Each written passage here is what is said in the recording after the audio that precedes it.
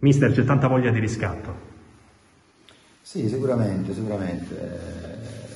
Sinceramente mi sono rivisto così la partita, anche quella del Catania, no? pensavo che vedendola dal campo con le tensioni avevamo sbagliato l'approccio, invece mi sono reso conto che la squadra nei primi 20 minuti ha fatto il suo, ha provato a giocare, ha creato qualcosa di pericoloso. Eh, siamo andati in difficoltà dopo il gol. Dopo il gol abbiamo avuto 20 minuti di, dove potevamo prendere il secondo.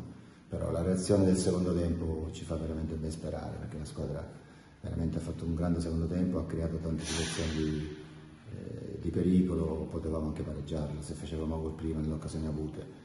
Eh, e non voglio parlare neanche degli errori arbitrari perché ci sono stati, ci hanno penalizzato sicuramente.